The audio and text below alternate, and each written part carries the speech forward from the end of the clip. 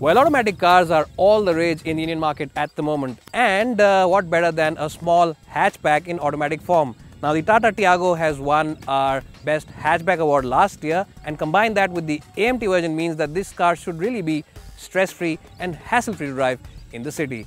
So what we're here to find out is that does the extra cost make the Tiago AMT a better car for the city and is it a better investment than the manual version? But we'll of course flip this review around and start talking with the driving bits first and get into the practicality bits later. So let's get started. Well, so here I'm driving the uh, Tata Tiago AMT. Now remember this car comes with a 1.2 litre petrol engine which delivers about 82 odd bhp of power. Well, as soon as you start uh, driving off the Tiago AMT, you will realize that this car's engine is supreme in terms of refinement. It is a very, very refined motor and uh, it's an engine which really is very smooth and very quiet as well. Now it does uh, tend to become a little rough when the uh, revs start mounting up, but that's only when you take it out on the highway and are doing speeds in excess of say 80 or 90 kph and want quick acceleration. In the city, when you are doing about 2 or 3000 rpm, this car's engine really does remain impressively very quiet. Well, the other good point about the Tiago AMT is the fact that the AMT gearbox on the Tiago does not feel like an AMT. It does not feel like an automated manual transmission. It feels like a traditional automatic. And why is that? Well, because uh, Tata Motors seems to have tuned the gearbox really nicely. It does not have the same kind of jerkiness which some other AMT gearboxes display. Yes, there is some jerkiness uh, when you really want to uh, rev this engine and want that quick acceleration maneuver, but that's really occasional. For day to day city use and driving it sedately around, this gearbox has very quick and very smooth changes. There's uh, hardly any telling that it is an AMT which is uh, under the hood. So in that sense, Tata Motors uh, has done a good job with the tuning of this gearbox. What you'll also like about this car is its brilliant ride comfort. Yes, this car really does offer you one of the better rides. In fact, one of the best rides at this price point. And in the city, the suspension really does soak up those bumps very easily. It really is a very, very comfortable car. And out on the highway, it does uh, display a lot more stability than your ex-girlfriend did. And believe me, I do know a thing or two about unstable girlfriends. So, uh, yes, this car really is very stable when it is doing 3 digit speeds. In fact, it doesn't feel like you're driving a small hatchback, it feels like you're driving a sedan. The stability and the ride comfort at higher speeds is that good.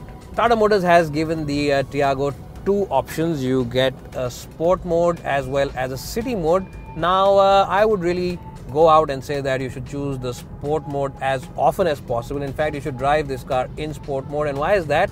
Simply because when you're driving this car in city mode, uh, the engine is a little lazy and a little lethargic to respond to your throttle inputs. But when you're driving it in sport mode, it really does feel very energized and really ready to go and really leap forward. So that's the mode that you should choose uh, to drive this car in all the time and avoid that city mode because it might be better for fuel efficiency marginally, but in terms of uh, driving pleasure, it really isn't that good. Well, you will also enjoy the steering wheel on the Tiago AMT, and the reason for that is that it's a steering wheel which is pretty light to use and pretty light to operate, which means that you don't have to use in a lot of your biceps and triceps and it's not a steering wheel which will tire you on uh, those long trips on the highway or even when you're driving for long journeys inside the city but uh, it's a steering wheel which is also pretty accurate. It's not the most uh, feel some steering wheel in the business, but that's quite okay because uh, you know buyers of hatchbacks are primarily buying these cars for easy and hassle-free motoring rather than for feel. So uh, that's something that only motoring journalists crib about.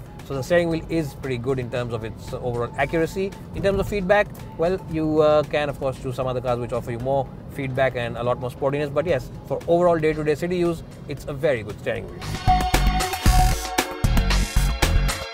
Well, so here I'm inside the cabin of the Tiago AMT and I have to say that the quality of this cabin is absolutely first rate and as good as segment leaders. It is at par with the Hyundai Grand i10. Now the door bins in the front aren't really large enough to house uh, those big bottles, but that's quite okay because you can always keep those bottles over here in the middle.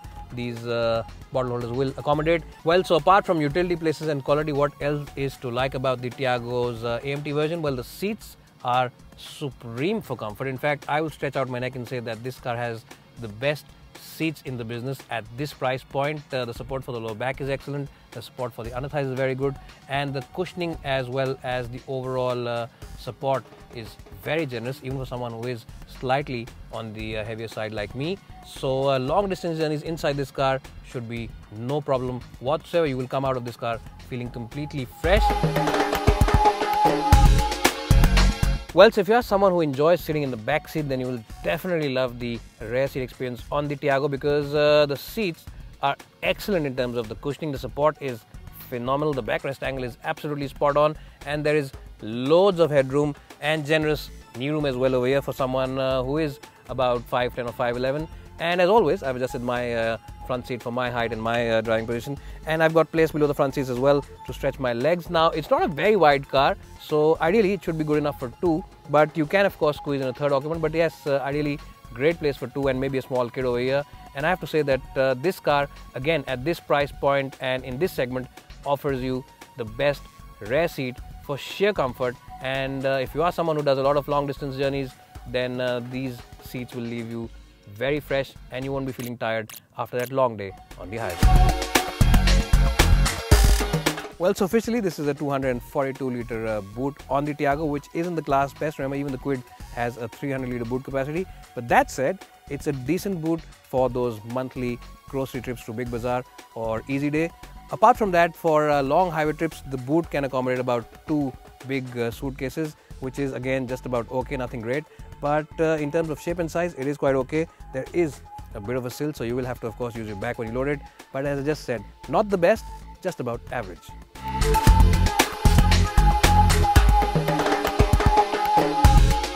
But even though Tata Motors hasn't paid me to say it, I will endorse the Tiago AMT as the best AMT automatic hatchback out there in the Indian market. Yes, it is really very nice and easy to drive and also is very good value. So if you are in the market for a stress-free, hassle-free car to drive, primarily in the city, then definitely go ahead and check out the Tiago AMT.